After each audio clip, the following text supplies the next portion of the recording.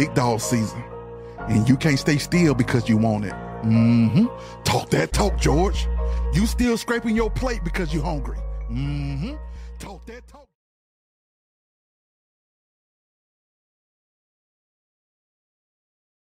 Today is Ju- Tuesday, June 18th. It's 12 o'clock in the morning. I can't sleep. Um, last night was a complete terrible situation over here with these dogs. They were, I guess maybe it was some animals in the backyard, some maybe some deer or some coyotes running through the yard, and boy, them dogs kept me up all night long.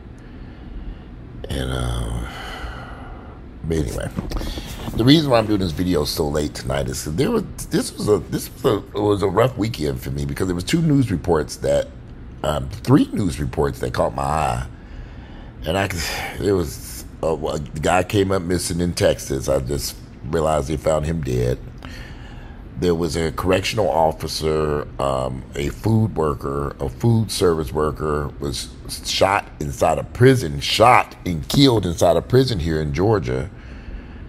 How in the hell did a gun get inside a prison and into an inmate's hand at a prison where he could shoot and kill a woman? He shot and killed her, then shot and killed himself. And then a doctor, a Morehouse intern doctor, was shot and killed here in Atlanta by her um, her ex husband. They arrested him and charged him. He he was they went all the way to Indiana and arrested him and charged him with um, he uh, stabbed her to death.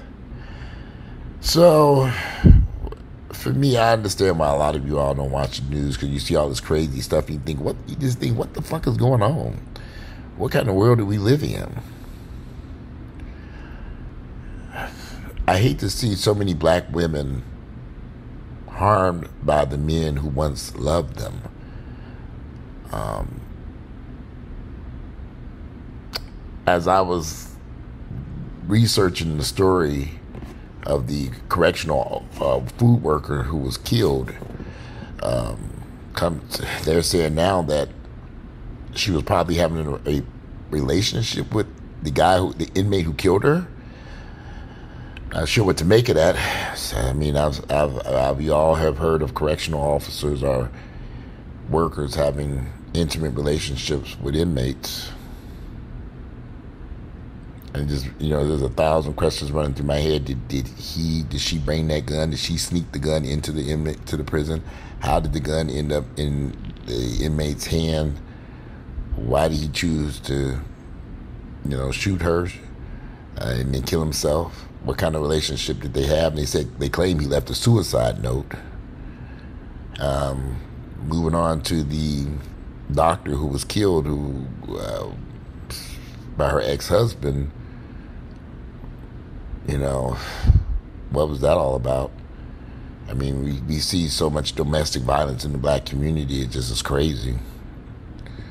And then moving on up there to um, to Texas, where this young man Jar, uh, Jarvis, I think what was his name? Um, he he showed up missing. And they found a they found him in a park um, somewhere in San in Antonio, Texas. In Antonio, uh, yeah, it's late at night.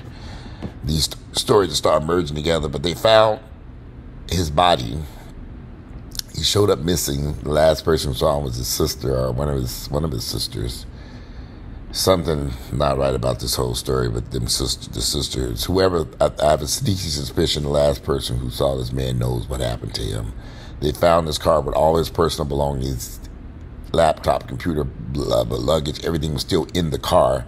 They found his body. They couldn't say if he had been shot, stabbed, killed. I mean, it sounded like to me it was maybe a drug overdose. I mean, somebody moved his body into that park. I uh, took him over there.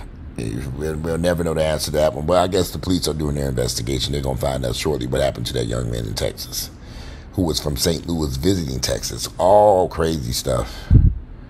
It's hard out there. You know, it's it's just these stories kind of struck me because you know I'm I'm dealing with my of course I'm dealing I'm over here taking all these pain pills, still dealing with my teeth.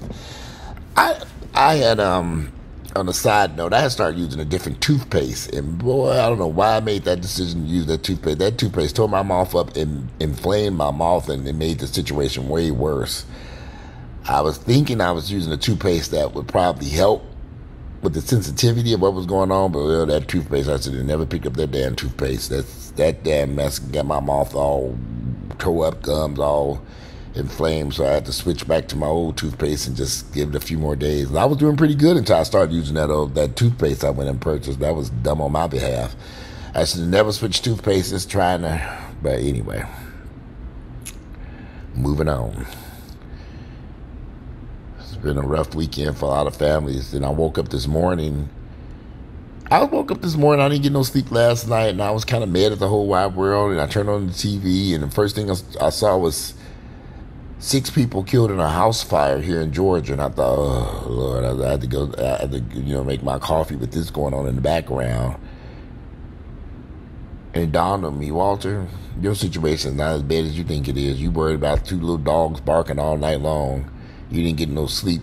Six people died last night in a house fire, and um, you know, you know, I see why y'all don't watch the news. Yeah, I didn't get no sleep last night. Laid here with two dogs barking. I don't know what they were barking at, y'all. I couldn't tell you. Um, they were up all night long, just barking and howling and just making. An even I brought them up in the room with me, uh, trying to keep them calm. They still, and I kept look and looking out. There was something going on outside. That's all I could say, and um, I never found out what it was. Well, I hope they do find out what happened to that young man in Texas. Um, let me see. What was his name? I think his name was Jarvis. Um, I think his name was Jarvis because I was just discussing it with a friend of mine, Jarvis McIntyre. Something ain't right about this whole somebody knows what happened to him, and I think somebody who he knew. I think maybe they might have been doing some drugs, and maybe they did a drug overdose, or I don't know. I'm just don't yeah, something's not right. And then they said that somebody was he dialed nine one one, and he was running from some races, or then his mother said that she that that she didn't make that statement, that she never the police never told her that. And I'm just like, okay, well, what? There's so much confusion. I've read article after article after article, and still don't know what was going on. I guess they let the police do their investigation. I was waiting to, to see if I could find any article that had anything that the police had to say, and I couldn't find one article. The police haven't said one word that I could see publicly.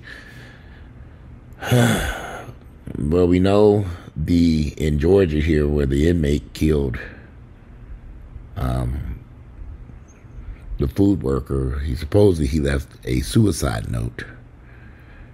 I guess the question that everybody, and this should be a top story because how in the hell could an inmate get a gun inside a prison? What is going on here? That's that's just bizarre to me, and dangerous and reckless. And how did this happen? So, well, uh, years ago when I was serving time back in the early 90s, back in 1990, a inmate stabbed a food worker to death in the kitchen when I was there. And um, I remember this vividly. Um, I never forgot that because I was at that prison institution when this happened. And it was frightening because we didn't know what was going on. They just ran around locking the whole camp down, and come to find out this man had stabbed to death a, a food service worker in the kitchen, and he, I, we don't. I don't, to this day, I don't know what took place in there. Why he chose to do this? Why he stabbed that woman to death? Um, never. I'll never know. But when I saw that over the weekend, it just brought up all these memories. Like, I mean, it really made me just stop. what I was doing, and just sit down. I had to sit down because I was thinking, is this still happening? Yeah, still happening. That someone's being killed in a prison. Georgia prisons are horrible, horrible, horrible places. When I look at the news and I see all these people shooting and doing all this crazy shit, and uh, what do they think they're going to? Some type of wellness camp or something? I'm thinking, do y'all not know how horrible the prison system is? Here in Georgia, do people not understand this? It's, it's, I don't think I want to spend the rest of my life in the prison system under with a life sentence with no parole because I, yeah, uh, the Morehouse doctor, the man who killed her, her ex-husband, he got him under arrest and extradited him back from Indiana. He's gonna spend the rest of his life behind bars for killing his ex-wife. And for what reason? What was that all about? Anyway, those stories stuck out in my head. And um, just news that came across the internet and across my television over this past weekend. And it just makes you stop and think and so much to be grateful for. You know, I've been stressing about a lot of stuff, y'all. I've been really, really, really, really stressed out. Really stressed out. And, um, I don't know why I've been so stressed. My anxiety's been sky high. And I can't even figure out what the reason why. Is it something I'm taking? Is it something I'm eating? Is it maybe it's my mother and her predicament over there? Maybe it's just I don't know. Maybe I need a vacation. But I think the problem is really my teeth. These lovely teeth I went and purchased.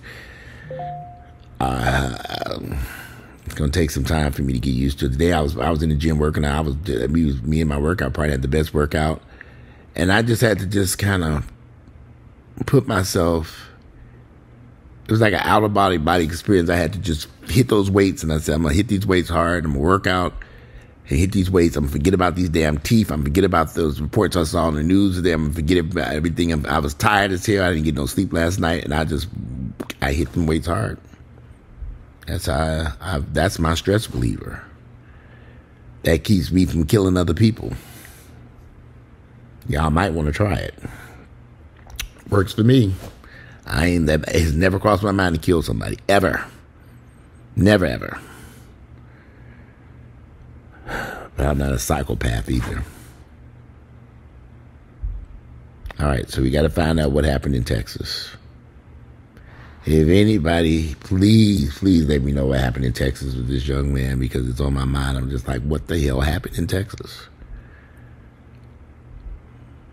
What happened, what took place. Um, they gonna police gonna find out, and I'm searching the internet, and I maybe too soon, you know, I haven't saw anything, but they're gonna find out what happened. And if you all have any ideas, post it in in the, in, in the video, uh, in in the comment section.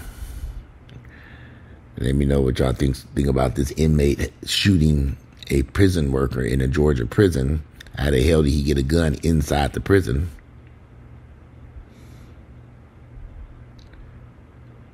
And the doctor, excuse me, who was killed by her ex husband. What are your thoughts on that? So, anyway, it's just a short little video. I've already taken my sleeping pill, waiting for the kick in. And um,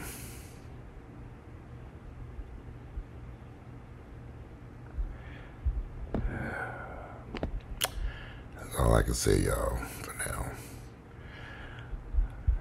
Yeah, I really look forward to reading y'all's comments about the questions I ask in this video. Today is Tuesday, January 8th, June, June, January, June 18th, the year is 2024. And um, let me know what y'all's thoughts are. I'm out of here. Have a good night. And I'll see you all later on in the day.